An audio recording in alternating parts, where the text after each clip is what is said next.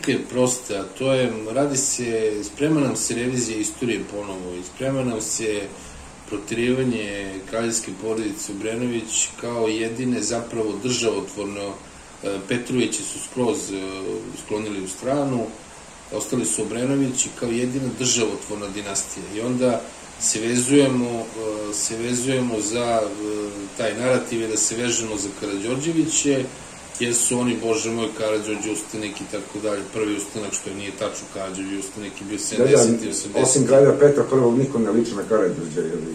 Ovaj, a kažu da je Đorđev imao tu naravi. Ovaj, pa to nije bio kralja, bio. Ali to je... Nemo je kockarski, koliko ja znam, Đorđe. Ovaj... Pa svi koji, dobri poznavaci, kažu da je zapravo najbolji izdanak ovaj, porodici Karadžuđevića u zadnjih... A kažu i da je bio put koji je trebao do Novog Sada da bude 9 metara širok, pa ispod 7 metara širok. Da je to isto Đorđe tome pomogao. Nisam siguran, nešto dva, pričam pa sam čuo. I šta oni sad rade? Radi se to fino podmetanje. E, sad ide nova jedna, jedna naracija da je Milan bio štetočina, a kao šator izdoje Rusije, ne znam, e, onda okrenuo se Nemcima i tako dalje. Što je istorijska neistina. Nije on izdao nikoga, nego je on uradio ono što bi svaki odgovorni vladar uradio, to je da ne gura i da ne ratuje, znači ne žrtvuje Srbiju za da interese neke druge države, pa makar ta država bila i Rusija. Da. Ove, ovaj, I kada danas pitamo ljude, recimo, bilo kog roditelja, sad, evo, budimo realni, mi smo roditelji, da li bismo pustili da naši sinovi idu da ginu za neku drugu državu?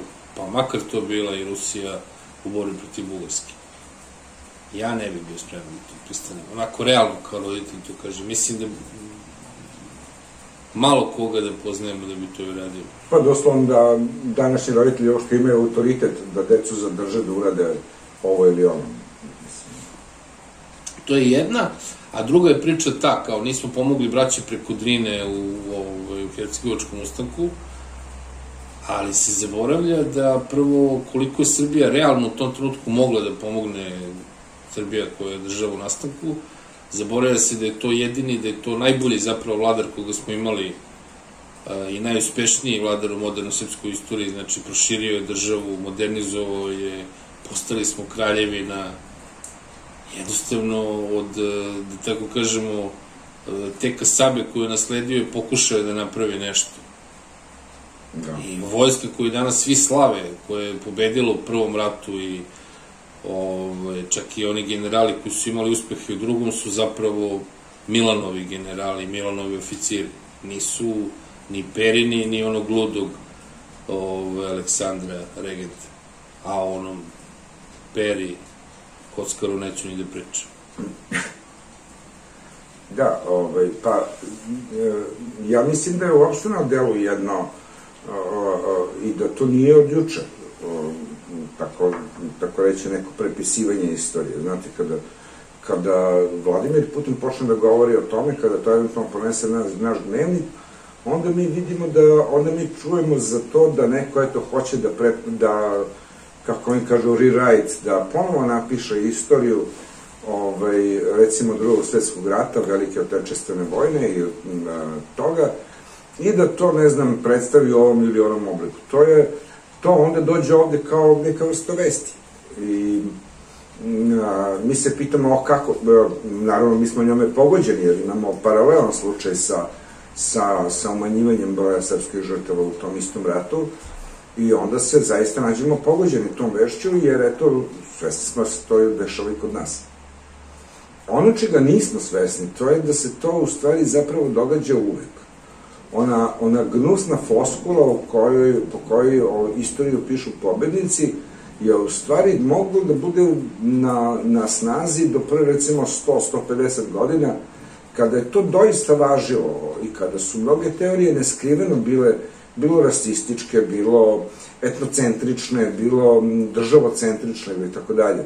Ne vidimo da je kod Rusije dan danas nije takav slučaj što u, u svetu koji pokušava da negira državu, e, a država se pokazuje kao jedino mesto na koje možemo da se vratimo u takozvanoj deglobalizaciji, što je zapravo loše. I onda to, i onda to ponovno pisanje istorije deluje kao falsifikat. Ja bih htio da podsjetim jednu prostu stvar.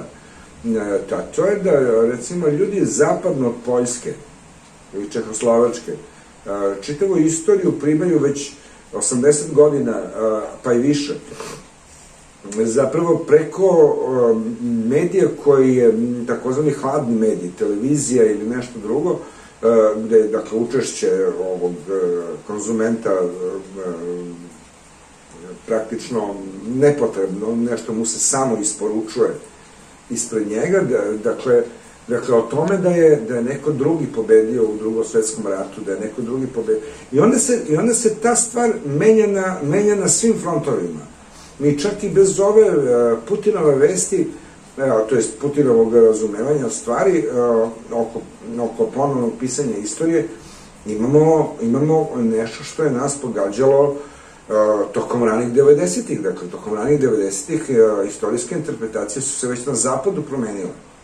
Znači, Gavrilo Princip više nije bio neko ko je, ko je um, počinio ubistvo u ime slobode velikih, velikog dela naroda iz te tamnice naroda, kako su Austriju zvali, nego je proglašen i u engleskim, i u francuskim, i nemačkim, i u austrijskim ovaj, knjigama kao jedan terorista koji je, tako reći, izazvao prvi svetski rat. Jedno tako tumačenje ovaj, je um, sve i kad bi bilo tačno, ono bi bilo samo opravdanje za represalije koje su se nakon toga dogodile i opravdavalo, opravdavalo nešto tako. Um, ni, to nije, ni to nije prvi slučaj. Mnogi su slučajevi već u dalekoj, davnoj istoriji slučajevi prepisivanja istorije. To je prosto praksa koja e, sadrži više od hiljadu i po, dve hiljade godina tradicije. E, mi možemo da vidimo, recimo, da još u Herodotovoj istoriji, to je dakle peti vek pre Hrista, on izmišlja da se neki skitski narod naziva androfazima, što bi značilo ljudožderima, što je naravno očigledan falsifikat. I kad je grčka istorija u pitanju, tu je, što se, bar što se onomastike tiče, rimska istorija, istoriografija daleko pouzdanija nego, nego Grčka. Mi imamo stalnu aktivnost zapravo tog ponovnog ispisivanja istorije. Tog, znate, kad se vas, kad se vas Nemanjiće tiču, vi ćete govori, mi ćemo da govorimo o velikom našem kraljevstvu. Englezi to nikada tako ne bi ocenili. Ali to shvatili kao tamo neku malu državu koja eto se tamo nešto suprostavljala Vizantiji i sama ne, nedorađena, još ne čak ni dohristijanizovana kako valja, jel? tako bi oni sudili, iako oni koji nisu hristijanizovani, to su prva ona tri plemena koja su zapravo sačinila Englesku, a došla su iz Nemačke. Anglija, e, Anglija, Jiti i Sasi. E, znači, prepisivanje istorije je postalo, međutim, u našem današnjem vremenu dobija jednu novu nijansu. Ona dobija nijansu ovoga što je, s čime smo se pomirili negde, koja je to godina, bila 2016. ja mislim, kada je ovaj Websterov, izbor za reč godine pao na reč post-truth, na, na post-istinu, da živimo u nekom vremenu u kome više nema istine, nego ima samo neke istine koja i nije neka istina ovaj, ta, ta postojica istina ne bi bila nekakva naknadna istina koja bi se pojavila kao istina, nego bi prosto označavala vreme u kome živimo bez istine o tome što, što govorimo. U tom smislu, e, za nas je e, to nekakvo, pa neću ja kažem ničejansko, ali, ali jedno samosabirajuće prevrednovanje svih vrednosti bilo veoma korisno. To jeste da uznamo sve ono što se dogodilo u našoj istoriji sa jednim određenim sa, sa značajem koje ono ima, recimo činjenicu da na oko 15. godine vi ste imali poneki veliki ustanak u Srbiji koji su za vreme Turaka ovi znači gušili i tako dalje, da se taj narod zapravo nikada nije pokorio. Mi imamo kosovski mit, imamo, imamo svašta i, sve, i, i u ime svega toga mi treba da se toga odreknemo u ovoj post fazi, dakle, koja, se, koja nas pogađa, mi u toj post fazi vidimo da je uticaj do te mere, te, kako bi amerikanci kazali, kancerozni, maligni uticaj zapadne Evrope, do te mere izražen da evo, da evo shvatamo da neko još uvijek može da napiše u učbeniku da se, da se, da se ovaj, janjičarstvo širio nekako, nekakav nacionalni ili rasni diversitet u, u, vreme, u vreme turske vladine. Dakle, ono što, ono što vlada ljudima, to nisu istine, to su zapravo interpretacije. I interpretacije su takve da je istina otprilike ono što se najjače može nametnuti kao nekakva interpretacija, pa sad još u nekom domenu. Recimo, sve interpretacije koje mi slušamo sa, iz, iz Sjednjih američkih država i Zapadne Europe, prosto nestaju kada stupite na tlo Belorusije ili, ili Rusije ili Kine ili nekih drugih slobodnih zemalja. One naprosto nestaju kao bilo kakvi fakt, niko se ne uzbuđuje više oko, oko, oko tog prepisivanja istorije. Prepisivanje istorije je nešto na šta ljudi upozoravaju i na šta mi upozoravamo njih. Jer a, a, to prepisivanje istorije nije tek neko traganje sada za istinom koja je bila stvarna istina, pa eto, sada imamo u američkim filmama koji najviše Amerikance uče istoriji, pa i Evropljane, sućuti za, za, za odvratne nacističke vojnike u, pod Stalingradom, kako, je, znači, kako oni to predstavljaju, e, nego je stvarno tome da se, da se, e, da se istorija drži onakvom kakvom je, kakva je ona bila. Sada, takođe u nekom domenu, u onom domenu u kome se ona može govoriti kao takva i naravno sa težnjom da se uvijek pređe neki drugi domen. To nije samo akademska rasprava u pitanju nego su to bukvalno teritorije, jer jedna interpretacija drugog svetskog rata vlada u Rusiji i Kini, u Severnoj Koreji, Srbiji, Bosni i Hercegovini, još negde možda, a sasvim druga interpretacija drugog svetskog rata vlada recimo u Hrvatskoj, Letoniji, Estoniji i sličnim ovaj, bljutivnama od, od zemalja koje ne zaslužuju da postoje, o, o, gde, se, gde se u stvari um, sama činjenica da postoji um, sistem uh, ili da kažemo ideja o akciji i reakciji. Jedna ista stvar koja se zove oslobađanje naziva sada povratno okupacijom. Pa kao što baltički narodi govore da ih je Rusija okupirala, evo sada i ova naša bedna razbraća takođe govore da ih je neko okupirao, pa 1918. smo ih okupirali, pa smo ih onda okupirali 45. Oni su siroti bili stalno okupirani dok se eto nisu e, e, izborili za svoju nezavisnost početkom 90. godina. Znači, to je priča koja ide, zato su važne sve one priče koje se tiču um, ne samo Haškog tribunala, nego kompletne interpretacije sadašnjosti. Zato je jako važno da, recimo, srpski istoričari uh, stanu, stanu u kraj ljudima kao što je ovaj Nikola Samarđić ili neko slično, koji je jedno tako uh, potpuna potpuna, potpuna prostačka, prostačko silovanje činjenica da postoji akcija, reakcija, pa jel da onda je po logici toj, onda su svi naši heroji njihovi zločinci, a njima su svi njihovi heroji naši zločinci. Kada bi se to tako gledalo, onda nikuda pravde istorijske ili bilo čega ne bi bilo, niti bi, se, niti bi u istoriji važile procene o tome da je pobedilo nešto što je bolje od nečega što je poraženo, kao što imamo procenu o tome da je, da je, da je pobeda u Prvom svetskom i Drugom svetskom ratu nešto dobro. Dok danas možemo sasvim da nađemo među gospodom istorije i historiografima ljude koji, e, nečiće na zapadu, mada i kod nas ima ekstrema, ekstrema kao što je Samardžić, koji će smatrati da je, se, da je nešto jako loše se dogodilo time što je e, što su, što su Austrijanci i Nemci izgubili prvi svetski rat. Ili da se, da se dakle, napravila recimo jedna divlja tvorevina kao što je Jugoslavija koji je opet sad Treći rajh trebao da s pravom uništi, jer to nešto nije uopšte dostojno postojanje. Evo možemo da vidimo da je nešto slično tvrdio i e, ubijeni premijer Đinđić Jugoslaviji kao nedovršenoj državi. To je skoro, to je skoro rasistički uh, jedan takav, jedna takva teza. Ako je Jugoslavija bila nedovršena država, što da go kažemo o Belgiji, na primjer? Belgija je potpuno uvek nedovršena država, bila i ostala, uopšte nije bitno koliko ona traje. Ili što da kažemo današnjoj Bosni i Hercegovini? Nedovršena država, šta više, ne država.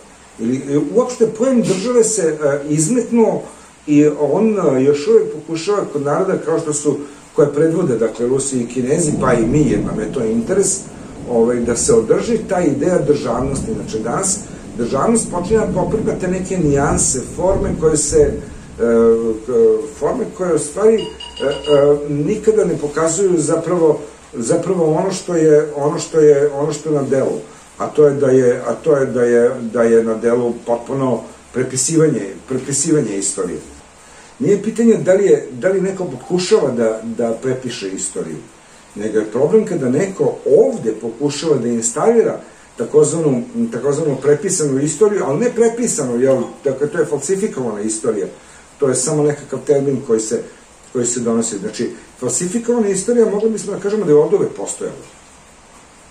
Mnogo toga, ko zna šta je sve laž od onoga što mi znamo o nečemu u prošlosti?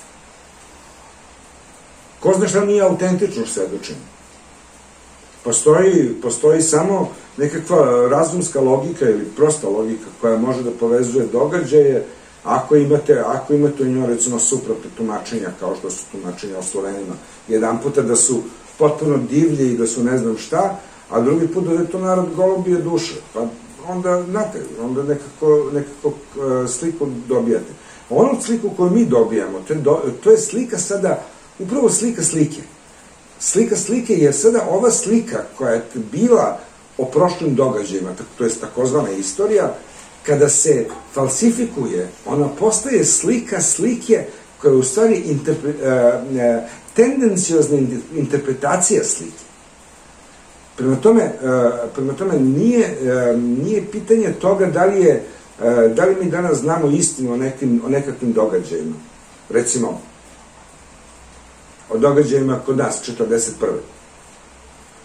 Pitanje je samo e, šta se u tome može, e, e, šta u tome, šta u interpretaciji teže veće verovatnoći nego nešto drugo. I to je ono, i to je ono mišljenje koje, dakle, računa sa verovatnoćom. Istorija nije nikada nekakvo sigurno znanje. Sigurno znanje ako je bilo, ono je, na, on je, ono je naloženo u matematici ili tako nečem. Znate, već, već kada, kada, kada mi prepričamo događaj, isti događaj nekom drugom, e, već mi smo skloni da napravimo grešku. Kada se takav niz naređa više puta. Tako se naime nagradila takozvana germanska rasistička priča. Oni su, oni su vekovima pisali o tome da su neki prljavi, aljkavi, neratnici, za razliku od naše tradicije koja je potpuno svesna da je stvar stoji drugačije. E, e, čak robovi, to znamo, ovo od čega su sve te njihove reči nastale, e, i kada postojno pišete o tome, onda dobijete recimo Agatu Kristi koja dođe 20. veku u Srbiju i vidi upravo to isto. Tu prljaštinu, tu odvratnost, to nešto što, to nešto što je posebno odvratno, što to nije u Engleskoj. A u Engleskoj to isto postoji u isto to vreme. I to su načini, to su broje načini, uopšte e, pa, celokupna priča o rasizmu bar hiljadu godina traje. Ove interpretacije su u stvari uvek interpretacije, sada bi kazali oni koji su politički nastrojeni, pa kaže, to su interpretacije takve da ti odgovaraju. Ali da li nam uvek odgovaraju interpretacije da našeg neprijatelja, protivnika a, napravimo na ne čoveka? Ovde u pitanju, znači, suprotan primjer bi bio, dakle, recimo, rusko-japanski rat. Iako ni to naravno nije čisto. Ali, ali ono što mi danas imamo, to ne da je satanizacija, to je već nekakav truo termin, to je postepeno, to je postepeno svođenje e, e, nekoga na predmet mržnje. I to je ono što su Srbi preživali, evo, do dana današnje. Koliko će to još moći da potraje, nisam siguran. Mi sad imamo jedan interesantan paradoks, to je ove godine 80 godina od početka prvog svetskog, drugog, pardon, svetskog rata u Srbiji, na našim prostorima. Za razliku od mnogih naroda Evrope, mi ne da smo imali jedan ozbiljan, nego smo imali čak dva ozbiljna antifašistička pokreta.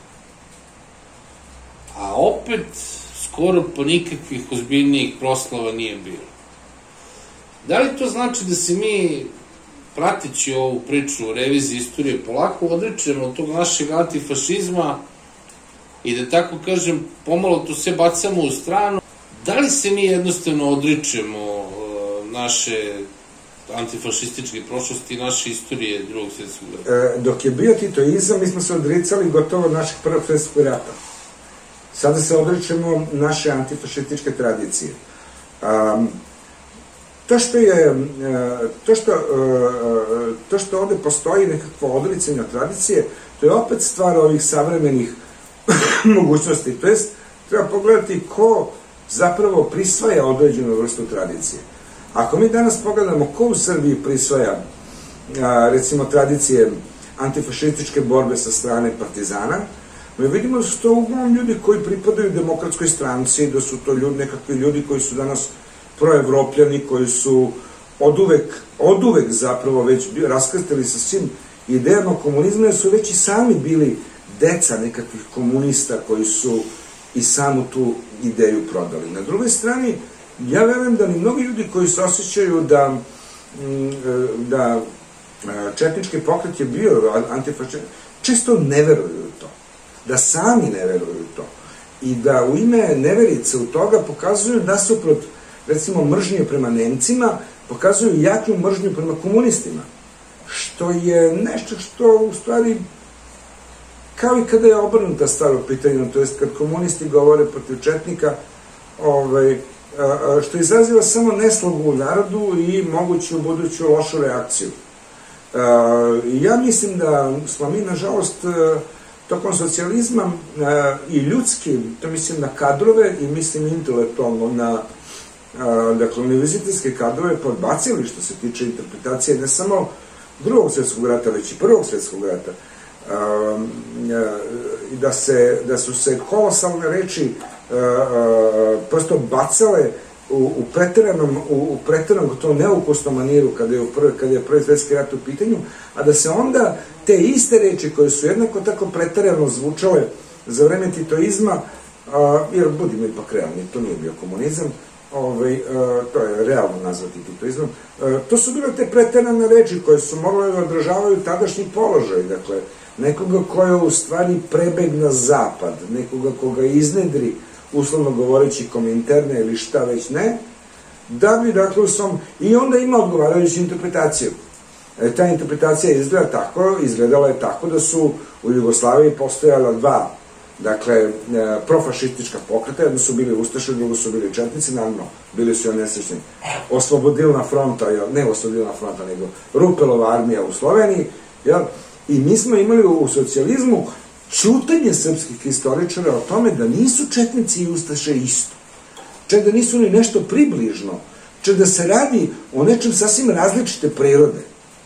Čak da su sami četnici nekada sebe zvali ustašama jer su ustanici. E, kao što i kod Ustaša, e, danas reč Ustaša kod nas odvrtno zvučila i kad je spomenete, a značilo je nekada isto što je značilo, jel, u tom smislu četnik. E, e, dakle, ono što, je, ono, što je, ono što je problematično za nas, nije to što Hrvati, e, što nemački istoričari ili, ili bilo ko drugi koji je zainteresovan za, za to da istorijska interpretacija prema Srbima bude okrutna, e, radi to što radi. Kod nas, je, kod nas je veliki problem što mi u stvari nemamo kritičku istoriju, nego zapravo imamo nastavnike koji su ispostavljene strukture vlasti, kao što je čitav Beogradski univerzitet, bar onaj deo koji se bavi društvenim naukama, zapravo instalirani e, poredak e, vlasti demokratske stranke. I dan danas predstavlja neku snagu samo zato što ima to uhlebljenje koje je napravljeno tako što su jedni ljudi izbačeni iz fakulteta i potpuno drugi ljudi primljeni i ne samo primljeni, nego dalje primani. Tako da mi imamo zapravo na fakultetima ljudi koji, ljude, upravo ljude poput Nikole Samarđića koji su i sami ti, e, da kažemo, e, e, novopisači te, te istorije koja se nikada zapravo nije dogodila i koja nikada nije ni bila. Mi moramo da pokažemo, makar mnogi naši amateri udarali glavom o zim, jednog dana će doći jedna valjana interpretacija. Izgleda da srpski narod je bio toliko šokiran onim što, što mu se dogodilo tokom drugog svjetskog rata, mislim na ogromnom broju žrtava. O, i, na, I na žrtve koje su se desile nakon toga, jel, u titoističkim procesima, da je, da je potpuno pognuo glavu i da vreme takozvanog komunizma mi možemo da pratimo kao vreme antisrpske države koja je zapravo počivala na istim osnovama na koje je počivala i prethodna Jugoslavija, što slabija Srbija, to je jača Jugoslavija i to se kod nas onako lepo ovaj, da kažemo domaćilo, tako da imamo tako da imamo ove današnje levičare, članove demokratske stranke i ostale koji izlaze iz Titovog šinjela, koji i dalje brane antifašističku borbu konto svog sobstvenog promovisanja u titoističkom društvu. I naravno imamo brojne ljude koji su nezadovoljni sa druge strane, koji nisu bili članovi partije, da podsjetimo, broj članova Saveza komunista je bio 10% kada su bili najviše, kada je Jugoslavija bila najveća, znači 2 miliona i 200 hiljada ih je bilo, prema tome još uvijek je bilo 22 miliona i 23 miliona koji nisu bili članovi Saveza komunista, a koji su, gledajmo, čutali, od kojih niko nije našao dovoljno snage, pa možemo da ih izborimo na prste jedne ruke, koji su našli prilike da svoju hrabrost pokažu. Svakako da to nije Dobrica Ćosić. Sve što je moglo da se Dobrici Ćosića dogodi, to mu se i dogodilo. Ali Dobrici Ćosića se ništa nije dogodilo. Naprotiv, istomišljenici Dobrice Ćosića i dan danas propovedaju članovi su demokratske stranke, da mi treba da se odreknemo Kosova i Metohije. On je govorio da ga podelimo. Ne može se ono podeliti. Da se može podeliti, ono bi se podelilo. Ali se ono ne može podeliti. Da pogledamo ljude koji su, koji su s te strane dolaze, tipa Latinka Perović, koja je potpuno ideolog takozvane druge Srbije. Na drugoj strani, imamo ljude koji, uh, koji uh, uh, sa, sa te iste platforme prilaze iz komunizma u takozvano evropejstvo. I to evropejstvo nam dolazi glave, jer evropejstvo je potpuno skopčano, u, znači ovo indoktrinirano evropejstvo Evropske unije, ono je potpuno skopčano sa činjenicama da je akutni zadatak koji traje već više, koji traje preko 30 godina, zapravo uništiti Srbiju na svaki mogući način. To je ta agenda Evropske unije koji ova gospoda takozvani levičari ne, nemaju nikakve e, dlake na jeziku da to provode. Zato dobijamo tako bizarne slučajeve, bilo u našem školstvu, bilo, um, bilo u historiografiji, bilo um, na drugim mestima gde se, gde se u stvari ljudi koji, koji samo rade svoj posao izražavaju na način na koji njihov posao nalaže tamo gde se, tamo gde ljudi zaista vode intelektualnu borbu, tamo gde ljudi zaista vode, da kažemo, patriotsku borbu, tamo je, tamo je situacija daleko, daleko drugačija. Tamo se ne pojavljuju ovi ljudi koji dolaze iz ovog korpusa. Tamo se pojavljuju neki drugi ljudi koji osjećaju nepravdu. Ja bih volao da se, ja bih volao da, da, da, da, da Srbi znaju da e, svi Srbi koji nisu bili u članu Saveza komunista, nisu automatski bili četnici, a bili su Srbi. Oni su i dalje mogli da budu Srbi. Iako nisu bili to što su bili. Ali ono što je, što je, što je srpski narod proživao u komunizmu, to mora, e, u komunizmu, izvinjavam se, u titoizmu, e, to mora e, dugo, dugo da se leči. Jer ono što smo mi dobili, dobili smo narod klimoglavaca, narod koji, narod koji jedva čeka neku poziciju da bi nešto eto uzeo za sebe legalno kroz institucije, e, e, zatim svi gledamo nekakve prečice. Mi, ako išto treba da prihvatimo od, od zapadnoevropske kulture, to je kultura postepenog sticanja. Ako ste već ludi da, da vam je najvažnije nešto materijalno i ako volite da stičete, onda ga stičete na pošten način. Ne, ovde je, ovde je to na nivou bajke. Od čuvenog Sicilijanca do dana današnjeg mi imamo u stvari ljude koji ideološki ne moraju ni da smrde ni da mirišu bilo kome. Ali to su recimo ljudi koji smatruju da je njihovo da nešto uzimaju van zakona.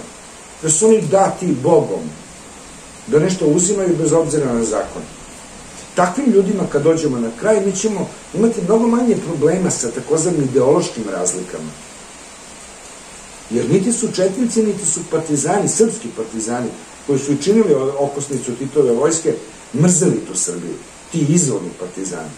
Prema tome, jedino što se njima dogodilo, to je da su oni uzajamno posvađali, naterani jedni druge, a ono što mi imamo danas, to je već čorbina, čorbe, čorba, to jest interpretacija, interpretacija, interpretacija, gde bi u stvari trebalo da budu tamo neki valjda partizani koji su bili za gej vrednosti i 41. i 42. jel, pošto evo njihovi unuci 2021. godine i dalje ispovedaju isto, a četnici bi valjda trebali da budu neki ljudi koji se ne kupaju ili, ili, ili ko što radi samo, samo piju rakiju, ništa drugo ne radi sklonistu da kolju.